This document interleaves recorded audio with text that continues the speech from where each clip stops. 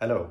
Uh, I would just like to take the opportunity now to talk a little bit about my thoughts uh, and insights when it comes to yeah competitions and how the educational system is uh, built a little bit and uh, things that are good for maybe more young musicians to know who happens to apply for some competitions and stuff like that maybe for the first time because it's not always like that the best musician wins and also the sentence best musician is also very vague. I mean, it's not really what is really the best musician, right? Um, so I would like to talk a little bit about this. And if, uh, yeah, if there are more experienced people also watching this uh, video, of course, many of you guys, you know this already. This is nothing new. But I think information like this deserves to be available online for people who maybe doesn't know. That is why I'm making, making this video here right now. So one thing to know, if you happen to apply for um, yeah, one of the more maybe big competitions for the very first time, something that is good to know is that, yeah, it's not always a fair play, meaning uh, even if you theoretically maybe was the best one, uh, doesn't mean that you win. Because you have to keep in mind uh, that there are people listening to you who's in the jury. Who are in the jury? Very often that is people who also have participants in the competition, which means, of course, the teacher of someone who places in, in this competition want their student to win. So they will then sometimes also try, you know, to, yeah, to make that person win. Uh, because that will then good look on their own resume as well. Like, oh, I'm a good teacher because I managed to uh, have this student win this competition. And it's also, of course, good for that student who won. And then also other people think, oh, wow, this teacher must be really good. Okay, maybe I want to apply to that class and blah, blah, blah. You know, there's a lot of this kind of politics and stuff like that, but, behind the competitions and how they work. So it's not always as objective and honest as maybe more uh, new people in the game would imagine. Uh, so that's maybe good to know. And um, I, I, also know this now from having been on the other side uh, of the committee table, uh, meaning I have been in some juries as well. And it's quite interesting to see uh, and hear how people talk uh, when we are talking about feedback and talking about yeah uh, deciding a result because uh, even if the jury is pretty impressive and you have many professionals there doesn't actually mean that they know very well what to listen for uh, I mean, sometimes, like I said, yeah, you can have a teacher who just wants to get their own student to win. That is one scenario. Another scenario is that you have some, yeah, professional musicians who just happen to be there because they are professional musicians on the paper, but they have never been in this kind of situation before and they actually have no clue on what to listen for. So, and then when you actually ask, uh, yeah, what, what do you think? Then uh, they say, okay, yeah, I like this person, for example, the best, and then this one. And then you ask, okay, based on what? And it often stops quite quick. It's often like, yeah, I just like them more, or, you know, they, they look good on the stage, or they, they sound nice. And yeah, okay, fine. Uh, but that's quite thin. uh, there are very many elements that, in my opinion, a jury should listen for. Uh, and many times, yeah, the, the jury, they, they don't always know how to listen believe it or not. Maybe this sounds uh, arrogant or something like this for me saying right now, considering I'm often among the younger people in the jury. But uh, then I would rather like to talk to people my age who happen to be more or less in the same situation as me, who sometimes are in the juries. Please, let's try to improve the situation here. So personally, what I do, I want to try to be as objective as possible uh, while listening to other people, which means I have also made some criteria, like a list that I'm going through with each participant um, with top 10 things that I check off uh, when I listen to uh, people in competitions. And uh, this is uh, something I already wrote down and something you can just download for free uh, in the description below as a PDF. And it's, in my opinion, maybe a more objective way to judge. Uh, so what it says here is like 10 points. It's not necessarily in uh, the most important order, but things you need to check. Yeah, sound is number one. Yeah, the roundness of it, like the darkness, uh, the flexibility, and does the person actually know how to adapt the sound? So there are many topics within sound itself. So sound is one thing. Another thing, rhythm, uh, stability, rhythmical stability, or rubato, when they happen to have a cadenza or something. How's that, how's that working out? Number three, intonation. Is the intonation well judged from an instrumental point of view, meaning they know how to play the instrument in tune? But let's say there is another one as well. If the piano is out of tune, if the piano is sharp, do they hear that? Do they adjust anything? The piano cannot adjust. So then you, you need to adjust to make this performance in tune. So intonation, important. Number four, technique, basically fingers. Uh, five, projection. Does the sound project anything? Or how is the balance here? Um, and when, for example, they play loud uh, and they do project well, how is the sound quality then? Uh, another thing is musicality, of course. That's number six. Do, is there some kind of signature uh, with this performer? Do they? Is it clear that they have some story behind, or they're trying to formulate something? Is it a rhetorical performance, or are we just listening to the right notes being played at the right time? Um, another thing is style. Yeah, for example, if you play something from the Baroque era, uh, is this historically correct performance or is it not? Does the musical phrasing uh, show any knowledge about the era that the piece is written in? Uh, another thing, uh, number eight here is, for example, ch yeah, chamber music wise. It depends if you play with a chamber music group or if it's just with a piano. Normally on competitions, it's just a piano. Meaning, is there some chemistry? Like, is there some contact with the soloist and the accompanist? Or is it just like soloist and doesn't care anything? So how they communicate musically uh, is also very important.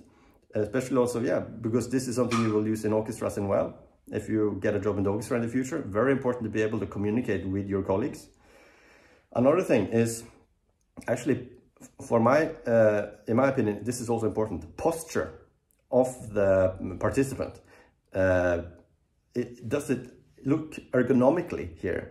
Uh, does this make sense? Or does it look like a very big effort and basically almost painful for the person who stands there? Um, th this is things to be judged as well, uh, because it's very important to learn on a very early stage. Because if you don't, then this is something that can actually damage you later in life, physically. Another thing is a stage appearance, uh, meaning do you actually know how to take time on stage? Or are you very stressed and you just rush around? There is time for you. You can, you know, take the time that you need. Uh, does this person seem inviting on the stage? Imagine if you are a normal random uh, audience member and you look on this. Does it look inviting? Do you, do you like what you see? And does it look like the performer actually has fun up there? or are they there because they are sort of forced to by some teachers or parents or do they do they like this do they enjoy the moment and uh, the last thing for me personally not the most important one but also important do they play by heart? Or do they use the sheet music like on the side a little bit like i'm doing now? Or are they completely into the paper like this? Um, that is also things to, to keep in mind, especially maybe more on auditions, no, sorry, on competitions, considering that you are trying to be a soloist, so you should be quite free, right? So these are like some top 10 or top 11 points that I have on this paper. And then in the very end, I have just written other, meaning uh, I could add some notes if necessary, for example, about, yeah, if the instrument is really bad, but the, everything else is great, but you just hear that the reason why this performer is not on the level as you would think is because the instrument has some bad things with it. Or for example, that the performer just lost control on the stage somehow, uh, things like that. And then in the end, what I do, I rate all of these things with numbers. Personally, normally from one to 10, um, but it depends a little bit of the number system that the competition you are in uh, has. There, sometimes there are some requirements. For example, now I live in Poland, for example, and in Poland it's very often from 0 to 25. So then I would rate 25 on everything here. And then in the very end, you do the math. So 25 plus 25 and blah, blah, blah, blah, blah. And then you have a final score. That final score uh, will then, of course, be different with all the participants. And then you can rate first prize, second prize, third prize, and blah, blah, blah, based on that score. Then you have judged very many things. You are being objective and you are not favoring someone. Uh, while at the same time, you have um, uh, yeah, a good answer. If people ask you, okay, why exactly did you uh, have this opinion about this performer? You have a very clear uh, reason and a good answer in return, which is very important. Also keeping in mind, often participants in auditions, they want feedback after. And if you just sit there and you say, yeah, I like this one and then this one and this one, And then let's say a person you didn't like, let's say person number seven on your list comes to you and asks for feedback. Maybe you don't even remember this person if there are like 100 people in this competition. So write it down, have it clear, and uh, yeah, honest game, please. Very important in my opinion. Another thing uh, to keep in mind, sometimes um, actually what's being judged is not necessarily the artist, but the equipment, uh, meaning the instrument. Uh, not everyone can afford a brand new, really good bassoon by one of the best makers in the world. Uh, some people can, and they get a lot of stuff for free. Even if you know maybe better than the person who has a brand new bassoon, even if you know better than them how to play on your bassoon, they get so much for free. It's a bit the same. Imagine you're in a race with cars and you compete against 10 Ferraris and you show up with some kind of old crap car. No matter how good you can drive that car, most likely you will lose to the Ferrari. And then we're now suddenly talking a lot about financial situation in this as well, um, which is very pity. And many times uh, the, the, people with more money who has a better instrument, yeah, they clearly win. It's very often like that. And then I'm really wondering, what are we judging here? Is it the instrument or is it actually the performer?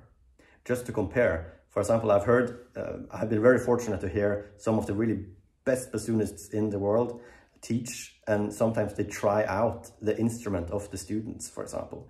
And really, on, on, when you get to the level of the top of the cake people, they sound amazing, almost no matter what kind of instrument they're given. Uh, that shows quality from the performer, knowledge about how to make instruments speak and work and resonate well. That is impressive. To just make a really good instrument play is less impressive. Another topic here uh, is uh, how the academies is sort of trying to educate bassoonists to become a soloist. Because very often in the academy, you have to play uh, tons of solo repertoire. And I know, for example, in some really, really good high level academies, it's basically a new piece every week or two or three. And yeah, of course, great. You learn a lot of repertoire then. Uh, but reality is, even if you become really a bassoonist on the top of the cake, like, uh, you know, Thunemann, Dagens, Nazzolini level, even those guys, they don't financially survive from only, only being a soloist. Uh, this is, as a bassoonist, currently in 2022, not the reality. That, that's not possible. Maybe those guys are the closest you would get as a bassoonist today, at least that I know of personally, who maybe could uh, start to live from it. But the reality is they're getting their incomes from teaching. And before that, it was orchestra. Solo gigs, yeah, they pay much better, but they're most likely not going to finance your life as a bassoonist. So then I'm also questioning uh, how important it is to sort of educate soloists uh, for uh, as bassoonists. Sure, there are tons of really great bassoon repertoire um, uh, with bassoon as soloist, and of course, we should play this uh, much more, in my opinion, than we're doing currently. Much, much more. But uh, I think it's important to remember that uh, maybe try also to educate uh, people that has a chance to get a job within a field where you can actually finance uh, your life from this. Soloist for bassoon, that's not happening, even if you are on the top of the cake. Um, so then I would rather try to focus more on, you know, climbing the ladder, get maybe an orchestra job first. Sure, if you get a solo gig, take it, fantastic, very happy for you. But keep this in mind. And this is something that comes from teachers. You know, they require that we play all of the solo repertoire. Uh, but uh, it would maybe be more interesting to educate someone that has a chance to get a job that will actually have some stability for the student's life later. Anyway, uh, back to the competition stuff. If you then happen to win many good first prizes, uh, uh, what happens then? Well, if you win some of the big competitions, normally what happens is that you also get quite good solo gigs with some professional orchestras, which is of course very prestigious and a lot of fun. Pays normally much better than a normal orchestra gig. So nice, fun. So you have fun with that for let's say a year or two normally. And after that, in most cases, then you never really hear about this person again. Uh, it's just end of the line. Yeah, because then there are other competitions and new people will get the same opportunity. So this is not something you can, you know, base to finance your life on, unfortunately. So please keep that in mind. Um, but of course, the good thing with competitions, to just finally say something good about it, is yeah, you will stay in very good shape and you will practice a lot towards it. Because of course you know that the level there will be very good and everyone who is participating will do all they can uh, to win. So of course, very good way to stay in shape. Um, maybe that's, in my opinion, the best thing with it.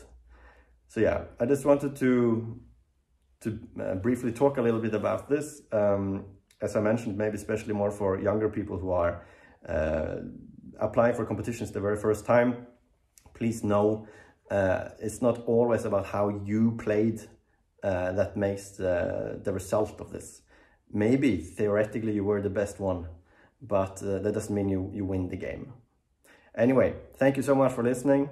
Please feel free to check out the PDF down below regarding those requirements that, uh, in my opinion, it would be smart for jury members to, uh, to have a little checklist on.